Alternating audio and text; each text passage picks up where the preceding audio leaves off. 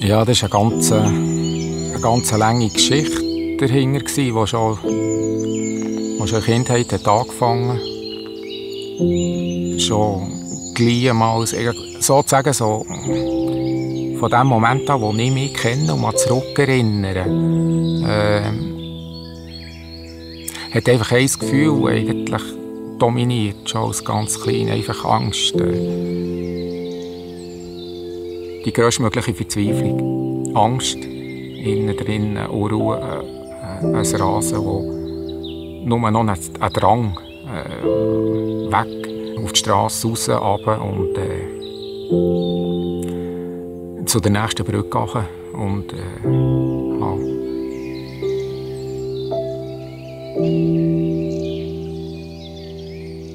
Und hat mich einer angesprochen, eine Wildfreundin, und gesagt, äh, mach kein Seich. Oder zuerst hat er gesagt, komm zurück, mach kein Seich.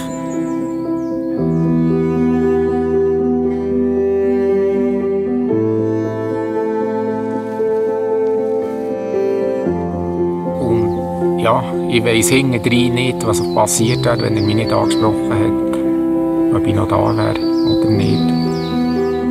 Man sollte nie eine Hemmschwelle haben, jemanden anzusprechen, wo man merkt, es nicht gut geht oder wo eine Krankheit könnte im Spiel sein, eine psychische Krankheit könnte da sein.